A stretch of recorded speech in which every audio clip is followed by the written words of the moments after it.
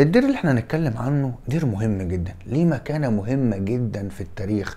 اتغنى بيه الشعراء وكتبوا عنه الأشعار بسبب المكانة والموقع اللي تميز بيها الدير ده. لكن الدير ليه قصة مع تاريخ البطاركة وقصة رئيس البطرك نفسه.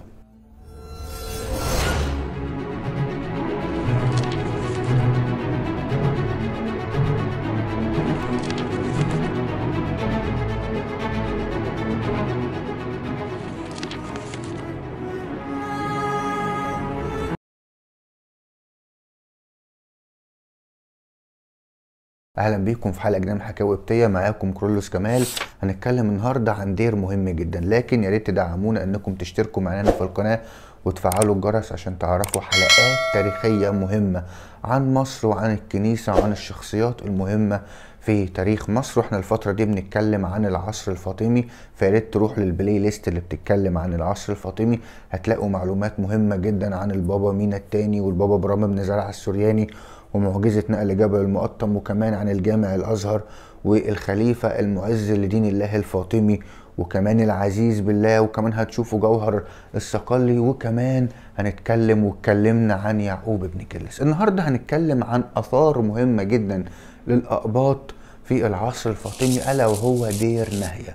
وأول نقطة معانا هي إيه منطقة ناهيه دي؟ منطقة ناهيه هي قرى من قرى محافظة الجيزة وقرية قديمة جدا تبعد حوالي 8 كيلو متر عن هضبة الأهرامات والقرية دي اتكلم عنها كتير من المؤرخين وهتلاقوا إن الأستاذ محمد رمزي ذكرها في الكتاب القسم الثاني الجزء الثالث بتاعه واتكلم عن منطقة ناهية إن هي قرية قديمة من محافظة الجيزة.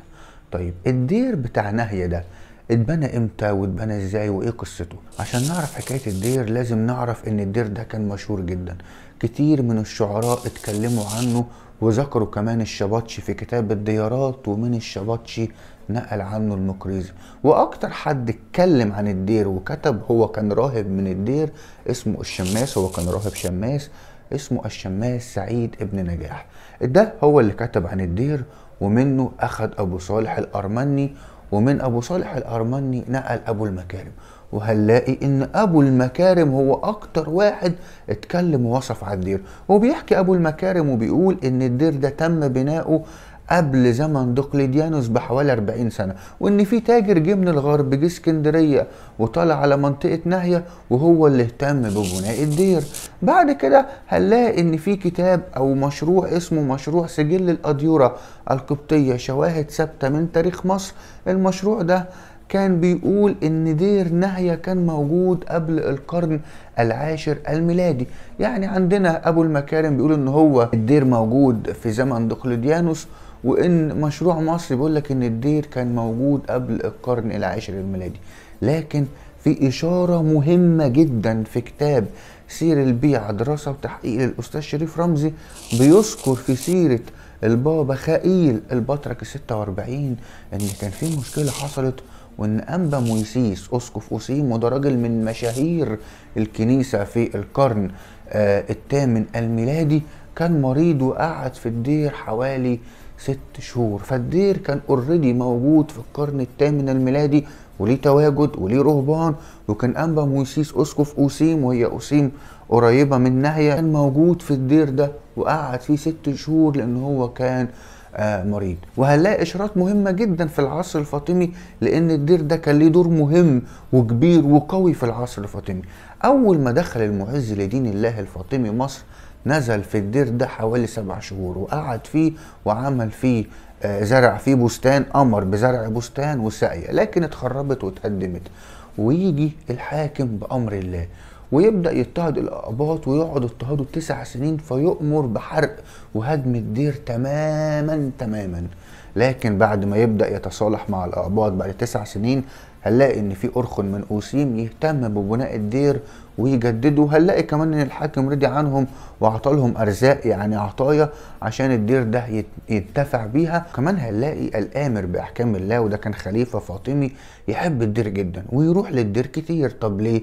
أصل الدير كان قريب من مكان الصيد والآمر كان بيحب يصطاد فكان بيروح الدير والرهبان يستضافوه قرر إن هو يبني استراحة وفعلا بنى استراحة في الدير عشان كل ما يروح يصطاد يجي يقعد فيها.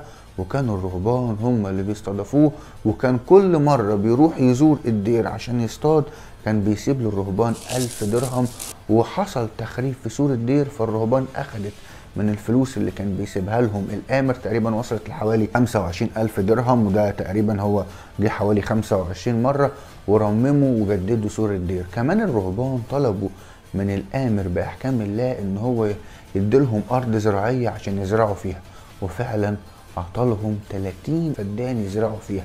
وفضلت الفدادين دي من حق الدير لحد ما جه الأيوبيين والمؤرخين بيذكروهم بالأكراد جم واحتلوا الأرض دي ومنعوها وأخدوها من الدير. ده كان سنة 1169 وكمان بقى هنلاقي إن المقريزي نقل عن الشباتشي واتكلم عن الدير ووصف الدير وصف جميل جدا. لكن قال إن في زمنه يعني في القرن ال 15 الدير ده كان خراب ومندثر. يعني الدير ده تم تخريبه قبل القرن ال 15 وهنا يسألنا سؤال. هو إيه الدير اللي كان الأمراء بيحبوا يقعدوا فيه؟ وإيه وصف الدير اللي خلى الشعراء يتغنوا بيه؟ هقول لك يا سيدي عايزك تتخيل معايا كده وصف الدير. الدير ده كانوا بيعتبروه من المتنزهات والمكان اللي كان فيه الدير مكان جميل جدا. طب ليه؟ الدير ده وقت الفيضان كان بتحيطه المية بكل الجوانب ولما الفيضان يبدأ ينسحب والمية تنصرف كان بيتنبت أزهار وأشجار جميلة جدا بتدي ريحة جميلة جدا. فكان يعتبر المكان ده من أجمل الأماكن اللي موجودة في الجيزة وكان مكان حلو جدا ويعتبر مكان أشجار. فكانت الناس بتحب تروح تقعد فيه والشعراء كانوا بيتغنوا بجمال المكان ده والجلوس في المكان ده وكان يعتبر المكان من ضمن المتنزهات الجميلة. وكمان كان في خليج يقدروا يصطادوا منه. فكان المكان حلو وجميل جدا. طيب إيه اللي خلى الدير بقى ده يكون ليه مكانة وأهمية في تاريخ آه البطارقة وكمان في تكريس البطارقة؟ ده عندنا نقطتين. أول نقطة مكانته في تاريخ البطارقة. إحنا هنقدر نقول إن الدير ده كان فيه آه خزائن ونقدر نقول مكتبة فيها مخطوطات كبيرة جدا عن تاريخ البطاركة فهنلاقي إن الدير ده كان اختاره موهوب ابن منصور عشان يكون مركز إن هو ينسخ منه مخطوطات سير البطاركة طب إشمعنى الدير ده؟ الدير ده لقوا فيه حوالي 55 مخطوطة بتتكلم عن تاريخ البطاركة من أول أيام القديس ماري مرقس الرسول لحد البابا سيمون ال 42 وكمان كان فيها مخطوطات من سيرة البابا مينا الأول لحد البابا شنودة الأول. يعني مجموع الاتنين حوالي 55 مخطوطة بتتكلم عن سيرة الآباء البطاركة وهنلاقي إن القس يؤنس اللي كان رئيس للدير في زمن موهوب بن منصور وموهوب بن منصور ده هو الشخص اللي حمل على عاتقه إن هو يجمع كتاب سير البطاركه ويلم سير البطاركه من الأديورة ومن مكتبات الأديورة ويجمعها في كتاب واحد بدأ يساعد موهوب بن منصور القس يوحنا ده أو يؤنس يساعد موهوب بن منصور ويفتح له خزانة الدير ويبدأوا في عملية الترجمة والنسخ بتاع سير البطاركه عشان يجمعوها في كتاب واحد ألا وهو كتاب سير البيعة آه سير البيعة المقدسة وده كتاب قيم جدا. فهنلاقي إن الدير ده ساعد موهوب بن منصور في سير البطاركه فده أهميته في نشر وتسجيل وترجمة تاريخ البطاركه اللي إحنا بنرجع ليه لحد النهارده. طيب إيه وضعه في تكريس الأب البطريرك؟ نقطة بقى مهمة ولازم تعرفوا إن تكريس الأب البطريرك مر بثلاث مراحل. المرحلة الأولى بياخدوا الشخص المختار للبطريركية ويسافروا بيه على اسكندرية وتتم رسامته هناك بطرك ما يقدرش يعمل حاجة تانية ولا يقدر يمارس مهامه إلا لما يطلع على دير أبو مقار ويصلي في مسبح وهيكل بنيامين المسبح اللي دشنه الأنبا بنيامين وشاف يد المسيح ويقدس القربان هناك ويطلع يزور الأديرة المجاورة لدير أبو مقار لحد ما يوصل ويختم زياراته في دير ناهية اللي إحنا بنتكلم عنه النهاردة. بعد كده يطلع على الكنيسة المعلقة وبكده تتم تجليس الأب البطريرك.